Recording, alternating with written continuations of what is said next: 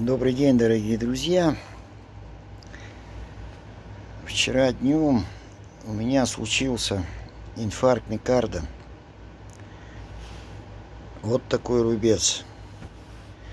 А случился он по следующему поводу. Позавчера закончил работу с одной из батарей.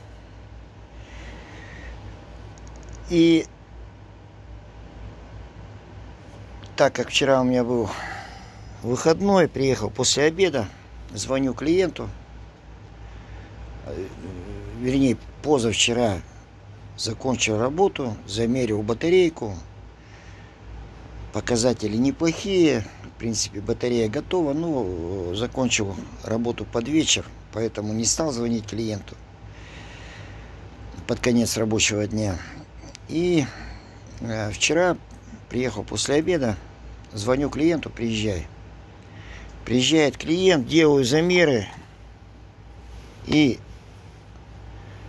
конвей показывает, что батарея мертвая. Что могло произойти? У меня вся жизнь, как говорится, перед глазами пролетела. Честно говоря, такого не было, чтобы на утро при показателях, при отличных показателях Ну, со, э, ну давайте все по порядку. Сейчас мы видим вот такую батарейку, 132, 960 ампер. Давайте сделаем замер конвеем. Пишет, проверьте соединение. Так, соединение у нас в порядке, но конвей работать не хочет. А вчера э, при замере той батареи, он показал, что батарея замкнутая. 10,8 вольт, там 15 или 20, не помню уже какие показатели были, ампер пускового тока, бешеное сопротивление, все, батарея умерла. Но, слава богу, есть у меня еще другие тестеры, я начал сомневаться, что батарея умерла, и решил перемерить. Ну, давайте замерим этим тестером вот эту нашу батарейку. С батареей закончил работать. А, стоит уже, наверное, неделю, клиент не едет. Попросил срочно сделать клемму, и батарейка была полностью разряженная. С батареей поработал. Ну, типичная история, когда клиент приезжает не своевременно и не вовремя. И вообще поздно. Так, 960 ампер.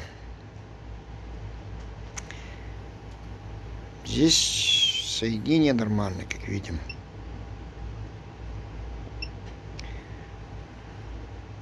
Ну, батарея отличная. Батарея отлично. А, прослабленная НРЦ 1266, но э, у этой батареи будет саморазряд, так как мне ее привезли абсолютно сухой. Абсолютно сухой, потому как я не смог э, замерить даже плотность. Батарея была высушена перезарядом.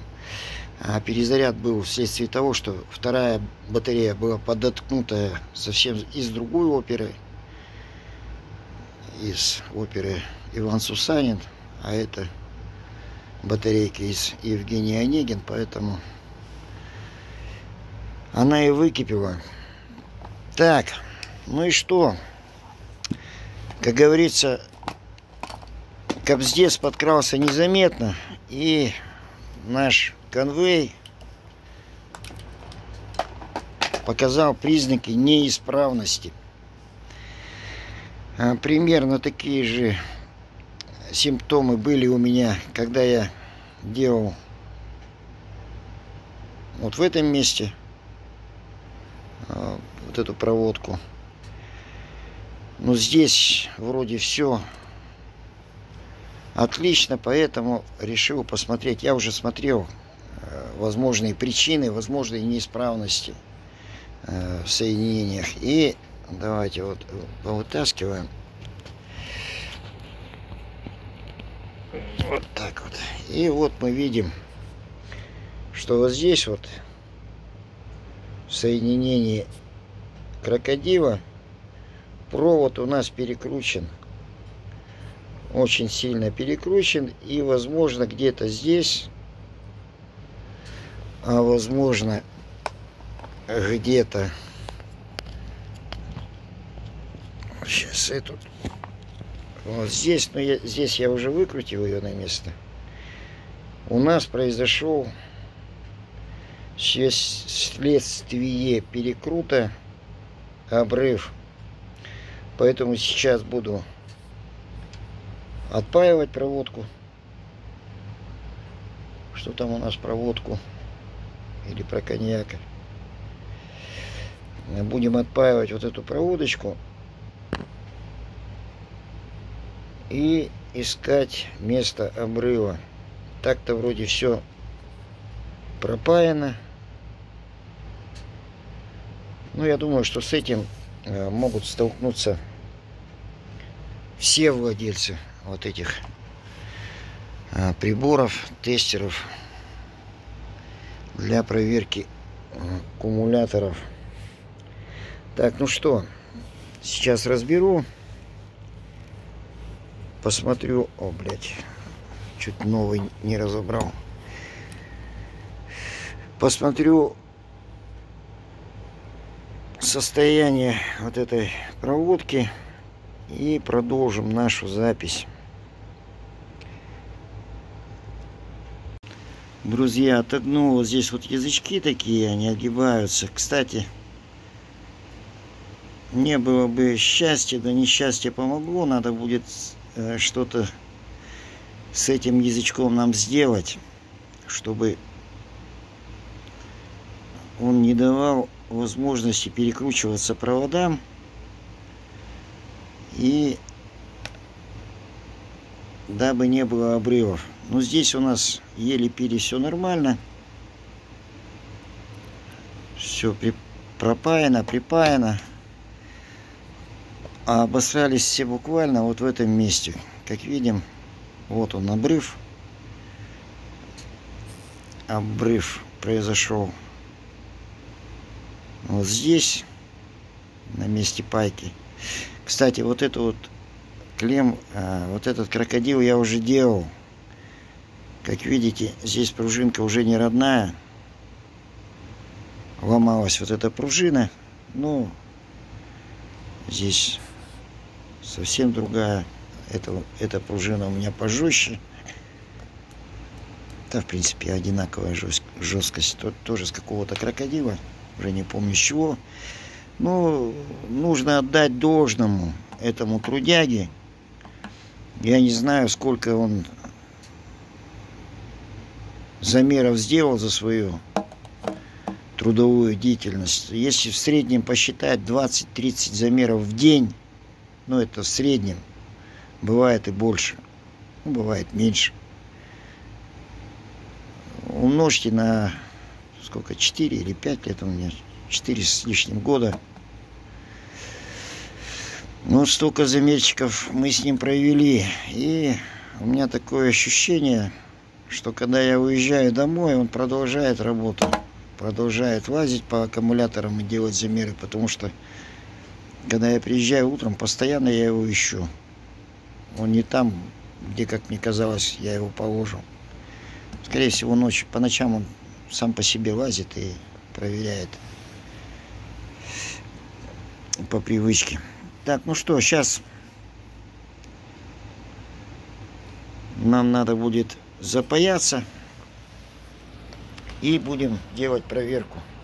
Это у меня стоит дырявый аккумулятор – который решил повоевать с Карлсоном и битву проиграл. Чем-то клиент замазал. То ли Дерулом, то ли Стимуровым, то ли каким-то холодной или теплой сваркой, блядь. Сейчас сливаю электролит. Но это все никакой клей держаться на полипропилене не будет, поэтому, друзья, бесполезно. Только пайка. Пришлось его просверлить, чтобы слить электролит. Но это так, слово, чтобы ролик короткий не получился. Так, ну что, паяльник в зубы и паяем. Произвел пайку, припаялся, постарался как можно плотнее обж... сделать обжимку, обжал вот, эти, вот этим язычком. По-хорошему, желательно, конечно, сделать небольшой, небольшую ваночку из пластилина и залить вот это место двухкомпонентным клеем. Ну, сегодня делать я этого не буду. Здесь также обжал поплотнее.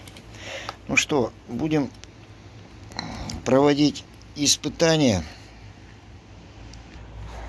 Итак, мы на месте.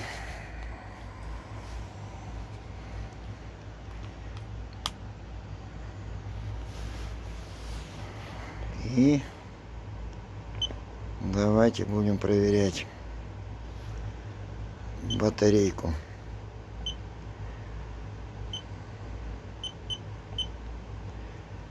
Так, 960 ампер.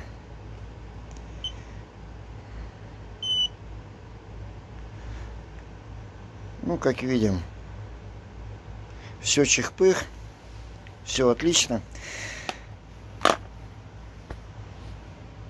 Результатом я доволен, не знаю, как вы. Ну, надеюсь, что данный ролик будет кому-то полезен и кого-то избавит от очередного инфаркта микарда. Вот с таким рубцом. Что, друзья, хочу пожелать всем добра, удачи, благополучия, здоровья и успехов в вашей работе. Самое главное, берегите свои батарейки. Всем пока.